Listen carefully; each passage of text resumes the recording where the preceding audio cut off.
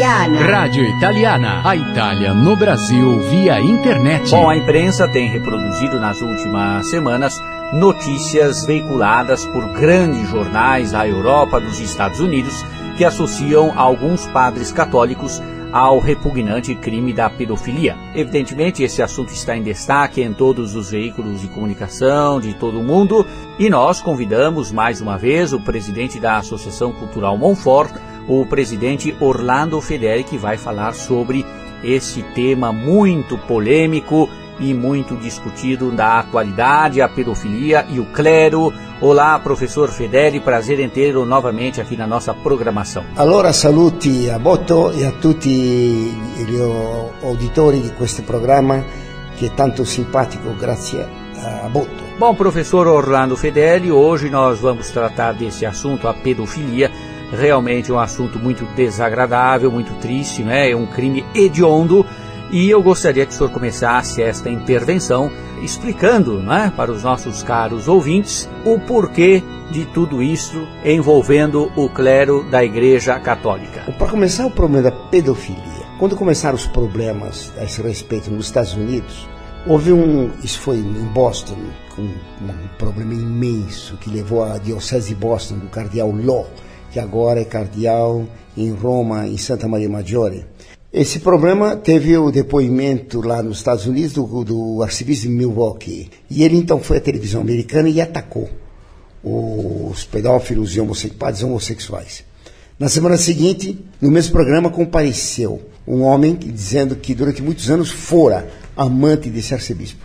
Ah, foi uma desmoralização completa. O arcebispo teve que pedir demissão imediatamente. Bem 16 aceitou a demissão.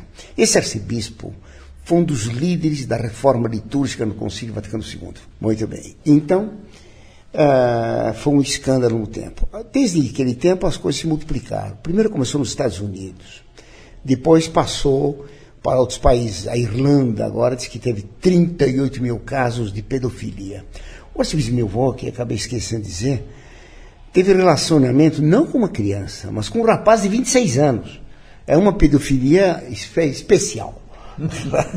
uma pedofilia que aqui no Brasil se chamaria de homossexual. Os brasileiros parecem ser atrevidos, não tem eufemismos. Né?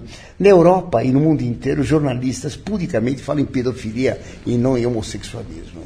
Agora, semana passada, o arcebispo de Bruges, o, o bispo de Bruges, na Bélgica, pediu demissão porque disse, e aparece fotografia dele na internet, que durante muitos anos, antes de ser bispo, praticava homossexualismo e depois de bispo continuou praticando. Quer dizer, como é que um homem faz uma confissão dessa depois de tantos anos de escondimento de um vício contra a natureza? Como agora ele diz isso? Eu tenho aqui na mão um recorte do Estado de São Paulo do dia 26 de abril. Chileno admite que suspendeu a investigação. O cardeal arcebispo Santiago, do Chile, Francisco Errázuriz, admitiu ontem ter suspendido há cinco anos uma investigação contra o padre Fernando Caradima, acusado de abusos sexuais. Ele e outros cinco bispos foram acusados por quatro fiéis de terem cometido abusos há 20 anos. Ontem, o Papa Bento XVI elogiou membros de uma associação italiana fundada por um padre para combater a pedofilia. O Papa disse que queria agradecer e incentivá-los e lembrou que ontem foi, foi declarado o Dia Nacional em memória das crianças vítimas da pedofilia. Quer dizer, de repente, o cardeal do Chile imita o arcebispo de Bruges, que ele mais cinco bispos confessaram estar envolvidos nisso. Envolvidos no ocultamento ou em atos de sodomia. Ele e outros cinco bispos foram acusados por quatro fiéis de terem cometido abusos há 20 anos. A impressão que se tem é que ele e mais cinco bispos praticaram esses abusos. Agora aconteceu um caso em Arapiraca. Foi denunciado um outro caso em Franca. O que significa essa notícia vinda do Chile, que o cardeal Errázuriz, conhecido defensor do modernismo, conhecido inimigo da missa antiga, portanto opositor de Bento XVI, que significa esse cardeal de repente fazer essa confissão como bispo de Bruges? Se a moda pega, se todos os bispos envolvidos nessa questão confessarem, O que deve fazer o Papa? O Papa está numa situação muito difícil. É claro que terá que demitir todos esses bispos. E onde encontrar padres para substituir esses bispos? Agora, professor Orlando Fedeli, como começou a pedofilia no clero? Como começou isso? Hoje estava lendo um jornalista italiano que dizia: que de repente toda essa onda de crimes de pedofilia ocorridos há mais de 20 anos? Por que, que os jornais, tão famintos desses casos, os jornais que defendem a liberdade sexual completa, que defendem até o homossexualismo, o casamento gay, como é que esses jornais estão escandalizados com a pedofilia no clero? E por que só agora? E por que ficar em silêncio durante todos esses anos? Que o clero ficou em silêncio parece patente que os jornais ficaram em silêncio é absolutamente verdade. Portanto, por que essa onda, de repente, de toda a mídia internacional contra Bento XVI, apedrejando o Papa, como se ele fosse culpado? Quando ele é que começou a combater isso. Prova o caso Marcial Maciel. O padre Marcial Maciel, fundador dos Legionários de Cristo, uma instituição mexicana, durante anos foi apresentado por um predecessor de Bento XVI como um padre modelo. Ora, era conhecido que ele abusava de todos os sacerdotes e seminaristas dele, e que tinha mulheres e tinha filhos e filhas, e saía com eles e levava até o Vaticano. Foi protegido, foi abafado o caso e foi defendido. Foi quando subiu Bento XVI ao trono, imediatamente o afastou puniu e agora está determinando uma devassa completa nos legionários de Cristo. Ben XVI, no discurso da Sexta-feira Santa, antes da eleição dele, que deve ter sido quatro dias depois, Ben XVI, naquele tempo cardeal Ratzinger, falava do navio da igreja que estava fundando. Quantas porquizia em questa nave, quantas porcaria nessa nave. Ele anunciou, quando ia ser eleito, o que ele ia fazer: limpar a esporquícia que tinha no barco de Pedro. E é o que ele está fazendo. Por isso que ele está sendo atacado. Para compreender isso, escrevi um artigo hoje sobre isso. Para compreender por que essa, esse ódio contra Bento XVI, apedrejado por toda a mídia internacional, culpado de tudo. Daqui a pouco vão culpá-lo de que ele matou Abel. Bento XVI foi ele, que ele é para foto, é o caso. Protegeu Caim, transferiu Caim para a África, para a delegacia não prendê-lo. Ben 16 que é o culpado. Claro. O, o, caso de Sodoma, que Deus destruiu Sodoma, culpa de Ben 16. Claro. Tudo. Sinero foi um sem vergonha, culpa de Ben 16. Ele é culpa de tudo agora. Por que, que tem isso? Em 1939, hum, tinha começado a guerra em setembro. Em setembro, a Alemanha invadiu a Polônia, conquistou a Polônia e fez os crimes horrorosos dos quais pouco se fala. Fez um holocausto na Polônia de católicos, de padres e freiras, do povo polonês inteiro. Imediatamente se começou, começar, começaram a fazer as manobras de paz, porque a Alemanha já tinha conquistado a Polônia junto com Stalin, porque o nazismo era aliado ao comunismo. Em dezembro, no dia 25 de dezembro, o novo Papa daquele tempo, de 39, Pio XII, lançou uma mensagem de Natal. Essa mensagem é interessantíssima. Claro que ele fala da paz. Natale, la pace. Cristo, il príncipe della pace. Então falou da paz. Tá certo? O jornalista Andrea Tornielli publicou agora um livro na Itália sobre Pio XII, em que procura defendê-lo das acusações de ser pró-Hitler, coisa que ele nunca foi. O Andrea Tornielli procura defender o Papa Pio XII. E tem um capítulo chamado As Mensagens de Natal Subversivas de Pio XII. Curioso. Eu fui ler logo esse capítulo. Que ele começa com a mensagem de Natal de 1940. Uai, por que não pôs a de 39? A de 39 que é a primeira. Por que ele esqueceu de 39, André Tonielli, que é um jornalista de fama internacional extremamente inteligente? O esquecimento dele foi inteligente. A mensagem de Natal de 39 é uma, um documento interessantíssimo. Foi publicado aqui, publicado aqui no Brasil pelas Paulinas. No final da mensagem, que trata da paz, tem que acabar a guerra, fazemos, façamos silenciar os canhões, está claro? Cristo, o príncipe da paz. Muito bem. Aí, no final, o Papa disse: Acabo de receber, de vida de Washington, uma carta do presidente Franklin Delano Roosevelt, trazida pelo seu representante pessoal junto ao Papa, Myron Taylor, o rei do tijolo. Ah, então o Papa fez questão de ler a carta do Roosevelt, que trata da paz. Roosevelt tinha sido amigo dele, motivo pelo qual, durante a, a carta, no decorrer da carta, ele chama o Papa My Old and Dear Friend. Como eu chamo o Boto aqui, meu velho e, e querido amigo, My Old and Dear Friend. Embora o Boto não seja velho. Bem, mas era My Old and Dear Friend. Ele conhecera o Roosevelt em 36. Nessa carta incrível, o presidente Roosevelt diz que essa guerra vai logo acabar a Segunda Guerra Mundial. E terá que ser, então, ser, ser eliminados todos os restos da Idade das Trevas, da Idade Média. O protestante Roosevelt se atrevia a dizer para o Papa: Nós queremos acabar com todos os restos da Idade das Trevas. A Idade Média, apaixonada pela luz, que fez os vitrais, que fez as universidades. E o Papa engoliu e pôs na mensagem natal. Pior ainda, o Roosevelt diz no decorrer da carta que depois da guerra vai ser construída nova ordem do mundo, como está na nota de um dólar, novos ordo seculorum. E que para fazer a nova ordem do mundo, depois da guerra, essa obra de uma nova civilização mundial não podia ser realizada por um chefe de religião como o senhor Pacelli, Pio XII. Mas precisa ter a cooperação de todos os chefes de religião. Ecumenismo. O Roosevelt quase foi membro do Vaticano II. Graças a Deus ele morreu antes. Senão teria sido chamado como auditor lá, ou ouvinte. Então a nova ordem do mundo seria feita por uma cooperação de todos os chefes de religião, como depois o Vaticano II vai defender, 25 anos depois. Mais ainda, não poderá ser feita a nova, do, nova ordem do mundo por mim, chefe de um Estado, os Estados Unidos. Mas tem que ter a cooperação de todos os chefes de Estado. Quer dizer, ter uma nova ordem do mundo novos ordens seculares, como estava previsto na nota de um dólar, impressa em 36 pelo Franklin Delano Roosevelt. O Papa incluiu essa mensagem na mensagem Natal de 39. É realmente estranha. Comparando com os teses anteriores, subversiva. A guerra acabou. O Roosevelt morreu antes do fim da guerra. O novo presidente era Truman. Em 53, consta.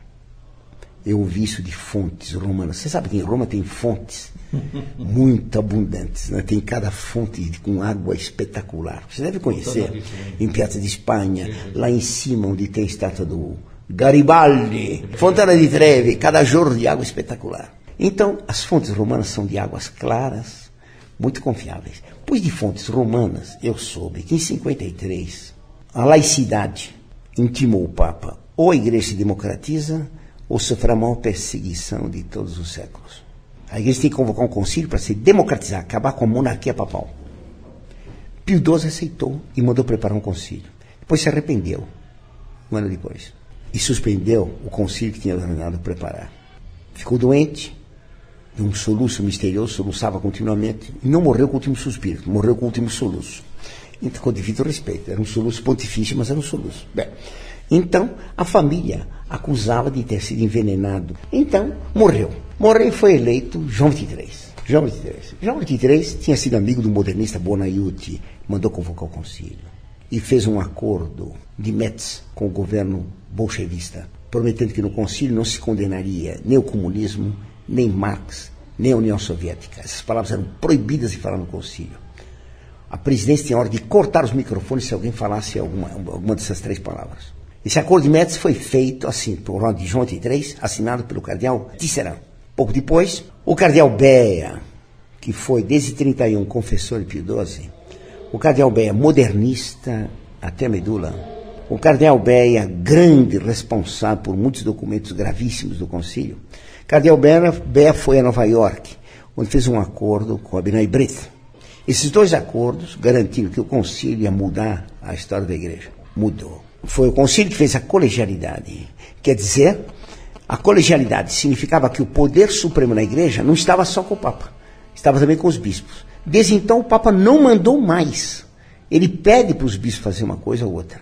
Acabou a monarquia papal, praticamente. Se tornou a igreja uma igreja colegial, uma igreja democratizada, como foi imposto a Pio XII e que ele recusou aceitar. Durante muitos anos, o Vaticano II fez isso. Quando morreu João XXIII, está publicado num livro de modernistas sobre a história do concílio, de que A maçonaria foi ao enterro de João XXIII agradecer aquele homem que, pra, por amor da paz, se dispôs a sacrificar os grandes valores da religião tradicionais da religião católica para salvar a religião. Aceitou sacrificar os valores da religião católica, quer dizer, calar-se sobre pontos fundamentais da doutrina. Quando morreu Paulo VI, foi a mesma comissão no enterro de Paulo VI, chefiada por um tal doutor Gamberini, bispo da Igreja Gnóstica Universal, com cargos no Vaticano, dizendo que pela primeira vez na história a maçonaria no enterro de um papa, sinceramente, um papa que era amigo da maçonaria e que fechou o abismo entre a igreja e a modernidade e fe, acabou com a, a condenação, em concreto, a condenação da maçonaria desde o século XVIII. Esses papas, segundo esses documentos, teriam feito um acordo para democratizar a igreja. O Vaticano II democratizou a igreja. Bento XVI está contra o acordo. Por isso, começou contra ele uma perseguição, um apedrejamento enorme. Esse apedrejamento foi profetizado em Fátima. Eu creio que foi em setembro de 1917, uma das videntes, Jacinta, que tinha então oito anos, está no campo com a irmã, a, que vai ser irmã Lúcia, e o irmãozinho dela, Francisco, que tinha então nove anos, e diz: Lúcia, vocês não estão vendo o Papa rezando sozinho no palácio? Vocês não estão vendo o Papa sozinho, chorando no palácio, e uma multidão jogando pedras nele? Posso contar para o povo aquilo a respeito do Papa? A Lúcia responde: Não, não pode. Você não vê que contando aquilo a respeito do Papa, fica fácil descobrir o segredo, que ainda não foi publicado. Foi publicada a visão do segredo. Um Papa fuzilado quando sobe uma montanha com a cruz, isto é, quando sobe ao altar. Então, o segredo de Fátima falava de um Papa que ia ser apedrejado por uma multidão. Esse apedrejamento é literal. Apedrejar o Papa no Vaticano é muito difícil, porque a distância das janelas do Papa para a praça, acho que tem o quê? Uns 600, 700 metros. Precisa ter uma força tremenda. Seria o campeonato mundial de arremesso de pedras à distância. Nem na Olimpíada tem isso aqui. É claro, então, que não é um apedrejamento físico, é um apedrejamento moral, coisa que está acontecendo. Agora, ainda em, quando o Papa foi a Malta, ele chorou no palácio em que ele estava. Enquanto fora, se gritava contra ele, acusando e culpado de todos os crimes de pedofilia e de homossexualismo do clero desde o começo da história. Quer dizer, ridículo. O Papa está acontecendo com ele o que a criança de Fátima, Jacinta, viu. O Papa sozinho, rezando no palácio, chorando e uma multidão apedrejando a ele. É o que está acontecendo hoje. O Papa está sozinho no Vaticano. Ainda hoje, está no jornal, o Estado de São Paulo. Cardel Bertoni, falando dos casos de pedofilia, diz que o celibato clerical não é uma questão dogmática, pode ser revisto, mas não vai ser revisto. Quer dizer, já abriu a porta. Como se a pedofilia tivesse que ver alguma coisa com o celibato. O mal foi não só cobertar, mas deixar de expulsar esses padres. Esse foi o problema. Que se evitasse escândalos, pode ser até certo ponto compreensível. Mas o padre que tivesse cometido esse crime devia ser punido. E por que não foi? Por causa que tem um acordo pelo Roosevelt, né? Ou a igreja se democratiza ou nós contamos. Então era preciso abafar. Bem 16 resolveu não abafar mais. E denunciar. E punir. Até que está sendo brando. Porque ele exige apenas que se peça demissão. Agora esse caso do Chile me espanta muito.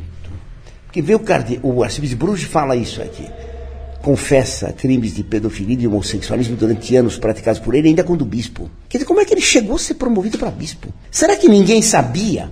Os casos que nós estamos conhecendo aqui no Brasil agora de Arapiraca, e tantos outros que foram durante muito tempo abafados, eu não quero aumentar a onda, mas os casos que se conhecem mostram que isso vem de longa data. Muitas vezes se transferia simplesmente o padre de uma diocese para outra. É claro que crime sempre pode ter havido. Os papas do Renascimento eram péssimos. O culpado era Bento XVI. Esse aconteceu aqui, mas o culpa é do Bento XVI, claro. Quer dizer, o Bento XVI é culpado de tudo no mundo. Então, esses crimes de pedofilia e de homossexualismo sempre podem ter acontecido. Mas antes eram punidos. E o mal dos últimos tempos não foi só evitar o escândalo, mas foi de não punir e muitas vezes promover como, por exemplo, o arcebispo de Milwaukee, o arcebispo de Bruges e agora outros tantos. E se acontecer que milhares de bispos se confessem pedófilos, que drama vai haver na igreja? Porque terão que ser demitidos. Como vai ficar a igreja? Nunca houve uma crise tão grande na história da igreja. Nunca houve um papa que tivesse a coragem de enfrentar a laicidade, que o cardeal Castrillon disse é a maçonaria. Nunca houve na igreja um papa que tivesse tal coragem como está tendo Bento XVI. Os sete vacantistas acusam erros dele do passado, titubeamentos dele hoje, e acabam negando que ele seja papa. E são cegos de não ver o que está acontecendo com ele, o apedrejamento de um papa enquanto ele chora sozinho. Agora, o Hans Kung, que é uma espécie de Hans King Kung da teologia modernista, publicou um documento contra o Papa, culpando ele de tudo e exigindo dos bispos uma revolta contra ele. Num documento lançado pelo Hans Kung, que é o mais atrevido, o mais desrespeitoso que jamais foi escrito na história da igreja, desde Lutero. Só Lutero escreveu coisas do mesmo tipo. Ele conclama os bispos de todo mundo a se rebelarem contra o Papa Bento XVI. O Papa está sozinho. Agora, eu gostaria de responder uma pergunta que eu mesmo faço. Como é que se explica tanta pedofilia nos últimos anos? É claro que há um princípio: quem pode o mais, pode o menos. Se eu tenho força para levantar essa poltrona com um braço, é claro que tenho força para levantar esse recorde de jornal. Porque se eu tenho força para levantar uma poltrona, tenho força para levantar o que pesa menos. Quem pode o mais, pode o menos. Quem não pode o menos, não pode poder o mais. Os crimes contra a fé são extremamente mais graves que qualquer ato contra a caridade. O povo hoje em dia, como não tem fé, não compreende isso aqui. Então, alguém dizer uma heresia, qual é o mal? É dizer que Deus mentiu. Deus que revelou a verdade mentiu. Isso é gravíssimo. É mais grave dizer que Deus mentiu do que eu matá-lo, por exemplo. Óbvio. Porque se eu matar o meu caro Boto, eu estou cometendo um assassinato. Estou prejudicando o Boto, a sua família e a sociedade. Claro. Mas quando eu digo que Deus mentiu, eu prejudico não só a Deus, mas profundamente a base de toda a fé e de toda a moral. Ora, o Vaticano II recusou condenar heresias. João 23 disse que não havia mais heresias no mundo. ai, ai, ai, ai. Bem, não tem mais heresias. Basta ouvir qualquer sermãozinho contra heresias, as pencas. Não havia mais heresias. O Vaticano II declarou que nada é condenável. Não tem condenação. A igreja renunciou às excomunhões para procurar a pastoralidade. Qual foi a consequência? Se o crime de heresia, de ofender a Deus, dizendo que Deus mentiu na revelação, não é condenável, muito menos condenável é um ato criminoso qualquer. O assassinato, o adultério, a pedofilia, o homossexualismo, que crime de for contra a moral. O Vaticano II terminou em 65. Três anos depois, a Revolução da Sorbonne lançou o lema famoso: é proibido proibir, tudo é permitido. Se é permitido toda heresia, vamos fazer comunismo com todas as heresias? Vamos dialogar com todos os hereges? Não se pode condenar nenhum ato por ser imoral. O que é imoralidade? O que vai contra as leis de Deus? O que Deus mandou, os dez mandamentos? Mas se Deus foi contestado pela heresia e a heresia não foi punida, se se pode contestar o que Deus disse, por que deve-se obedecer os mandamentos dele? A consequência foi o absoluto triunfo do relativismo depois do Vaticano II. Nada é condenado, tudo é permitido. Aqui no Brasil, o fulano mata a mãe, o pai, é entrevistado, ah, o senhor matou a mãe, como você estrangulou a mamãe? Os olhos dela saíram, ah, e, a língua dela veio para fora?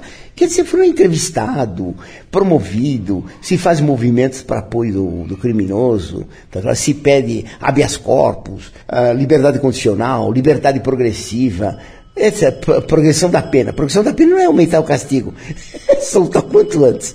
Tá Quer dizer, nada é condenável. Todo crime no Brasil causa um escândalo. Por pouco tempo, até um novo crime. Então se esquece do passado. Por que isso? Pelo relativismo profundo que está em todo mundo. Ninguém ousa condenar mais nada. Se a igreja não condena heresia, nenhum pecado pode ser condenado. Tudo é permitido. É proibido proibir.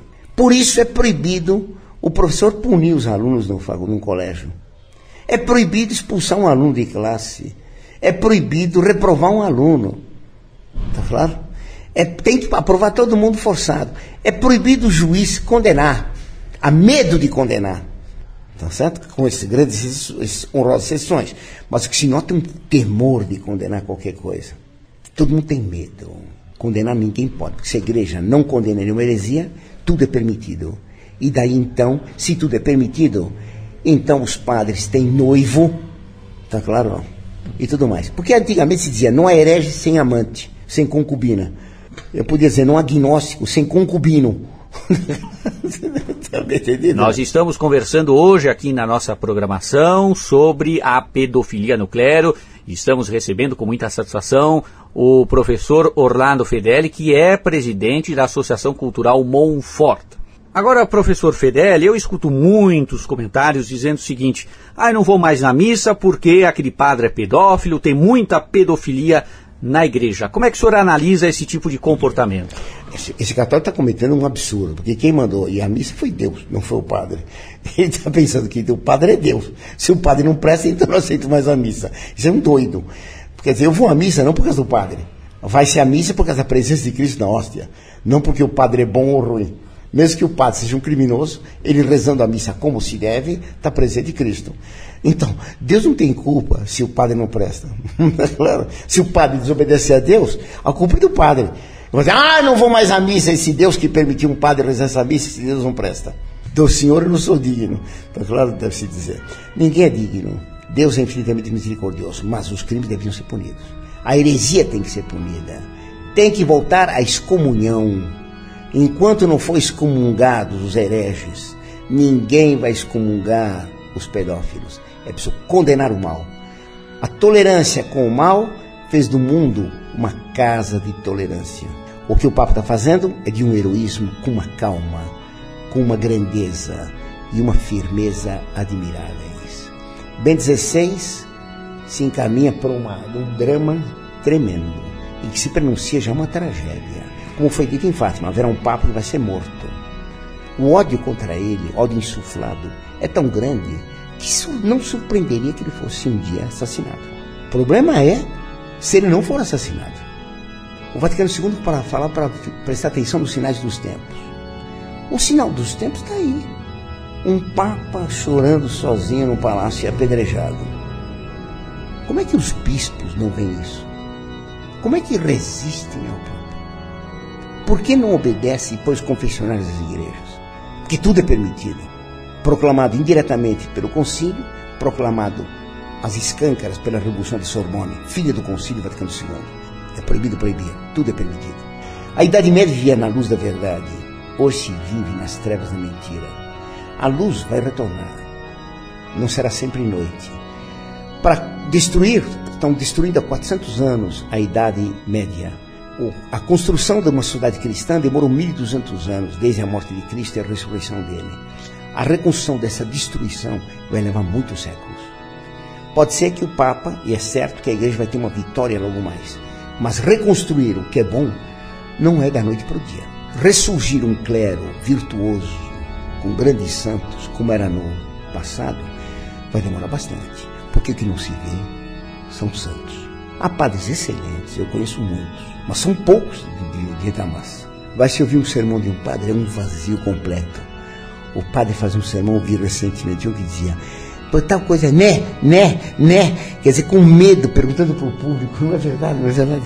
Ridículo. Enquanto não há padres com sabedoria e com virtude, não haverá reconstrução. Deus é aquele que vê e que dá vida. Só terão vida na igreja aqueles que virem a verdade, aqueles que forem capazes de ver a verdade. Viventes et videntes. É aquele que vê que dá vida.